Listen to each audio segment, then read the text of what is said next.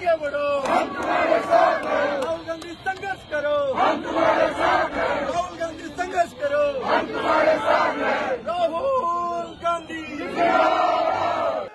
हम सब लोग देश की राजधानी में इस जंतर मंतर पर सत्याग्रह कर रहे हैं।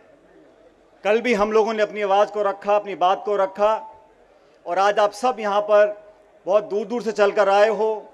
केंद्र की सरकार ने, पुलिस ने तमाम नाकाबंदियाँ करी, लोगों को रोका, वाहनों को रोका लेकिन फिर भी आप सब लोग अपने जज्बे से और इस देश में जो ज्वलंत मुद्दा है, उसके समर्थन में आज यहाँ पर उपस्थित हुए हो। मैं आप सबका धन्यवाद करना चाहता हूँ।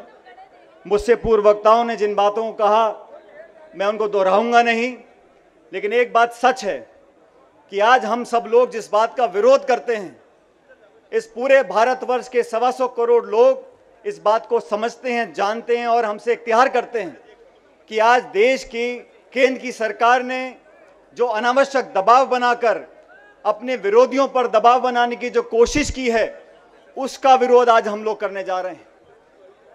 आज केंद्र की सरकार ने, भारतीय जनता पार्टी ने पिछले आठ साल के शासन में तमाम उन आवाज़ों को दबाने का काम किया है, जो उनके सामने खड़ी हुई हैं। आठ साल के शासन में उन्होंने कोई कसर नहीं छोड़ी। देश के किसानों पर, नौजवानों पर, मध्यम वर्ग पर हर प्रकार का आक्रमण किया और जब चुनाव आते हैं तो ध्रुवीकरण कर कर वोट लेने का काम किया। लेकिन आज देश का नौजवान सवाल पूछना चाहता है कि आपने सेना में जो अग्निपथ की जो योजना बनाई है, ये किससे पूछकर बनाई है? घोषणा सरकार ने करी और कल उस योजना का बचाव करने के लिए आपने फौजियों को भेज दिया। ये घोषणा प्रशासनिक है और राजनीतिक है। चार साल की नौकरी के बाद लोगों को वापस सड़क पर आना पड़ेगा। और जैसा भी पूर्व वक्ताओं ने बोला, इसके समर्थन में कांग्रेस पार्टी की पूरा नेतृत्व, हम एक एक कार्यकर्ता, नौजवानों के साथ खड़े हैं। कल इसी मन से आदरणीय प्रियंका गांधी जी ने अपील करी है कि सभी नौजवान शांति और अमन चैन बनाकर रखें। हिंसा किसी भी सवाल का जवाब नहीं हो सकता। सरकारी संपत्ति को नष्ट करना, हम इसको गलत मानते हैं और सबसे विनम्र विनेदन करते हैं कि शांति बनाकर रखें। लेकिन नौजवान आज देश का आक्रोशित है, असुरक्षित है, अपने भविष्य के लिए चिंतित है। आपने जो खिलवाड़ किया है, ये सिर्फ़ भर्ती की प्रक्रिया नहीं है। आपने नौजवानों के सपनों के साथ खिलवाड़ किया है। आपने हमारे ग्रामीण क्षेत्र से जिन किसानों के बच्चे फौज में भर्ती होना चाहते थे, अपनी भारत माता के लिए शहादत देने के लिए तैयार होना चाहते थे, आपने उनके साथ धोखा किया है। हम भी चाहते हैं कि फौज में नौजवान और लोग जमे, लेकिन भारत की सरहद एक तरफ़ चीन है, एक तरफ़ पाकिस्तान है। ऐसे मौके पर आपने फौज और हमारी सेनाओं के साथ खिलवाड़ करने की कोशिश की है, मैं इसको गलत मानता हूँ। अगर बदलाव भी करना था तो संसद में चर्चा करते, नौजवानों से बात करते और कोशिश कर कर देखते कि किस प्रकार का बदलाव हो सकता है। लेकिन ग्रामीण परिप्रेक्ष्य से अधिकांश लोग फौज में भर्ती होने के लिए आगे आते हैं और बहुत महीनों तक, सालों तक प्रशिक्षण करते हैं। आज तमाम कांग्रेस पार्टी का नेतृत्व और कांग्रेस पार्टी इन नौजवानों की मांग के साथ खड़ी है।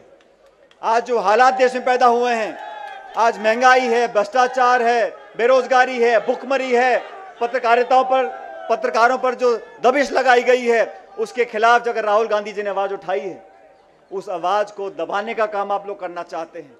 साथियों, मुझे याद है, जब देश का हमारा संसद यहाँ पीछे, लोकतंत्र का मंदिर है, यहाँ पर जब आतंकवादियों ने हमला किया था, अटल बिहारी वाजपेयी उस समय प्रधानमंत्री थे, सोनिया गांधी जी नेता प्रतिपक्ष थी, इतने बड़े आक्रमण के बाद जो पहली बार हुआ था उस समय एक जिम्मेदार विपक्ष की भूमिका निभाई सोनिया गांधी जी ने।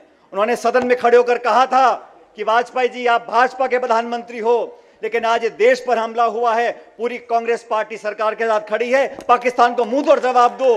ये भावना थी। विपक्ष का सम्मान करना कांग्रेस सरकारों ने कर कर दिखाया है, लेकिन आप सिर्फ़ आवाज़ दबाना चाहते हो, आप वोट की राजनीति करना चाहते हो आप किसानों को धोखे में रखना चाहते हो, आप नौजवानों के भविष्य को बर्बाद करना चाहते हो, आप सिर्फ़ ध्रुवीकरण की राजनीति करना चाहते हो, आप देश को हमेशा उबाल पर रखना चाहते हो, टकराव पैदा करना चाहते हो, हिंसा का माहौल पैदा करना चाहते हो, तमाम कांग्रेस की विचारधारा वाले लोग एकजुट होकर सामने आएँगे और आज आप लोगों ने दिखाया है कि एकजुटता के साथ हम आगे बढ़ सकते हैं। और सोनिया गांधी जी ने कहा था उदयपुर के शिविर में कि हमको बहुत कुछ पार्टी ने दिया है। हम बड़े बड़े पदों पर हैं, रह चुके हैं। लेकिन आज देश को ज़रूरत है, जमहूरियत को ज़रूरत है, लोकतंत्र को ज़रूरत है कि हम सड़कों पर आए और संघर्ष करें। और मुझे खुशी है कि आज हम सब इकट्ठा होकर ये पूरा देश देख रहा है और केंद्र की सरकार भी देख रही है कि हम अगर एकजुट होकर बात रखेंगे, हमारी आवाज़ के सामने केंद्र की सरकार को झुकना पड़ेगा, क्योंकि जनता जनार्दन है। और हमारे कार्यकर्ता हमारे रीढ़ की हड्डी हैं। हम एकजुट रहेंगे, एक स्वस्थ रहेंगे। हमारी हर बात को लोग मानेंगे। आप लोग यहाँ पर आए और मुझे बोलने का मौका दिया। आपका बहुत बहुत धन्यवाद। जय हिंद। राम राम साहब।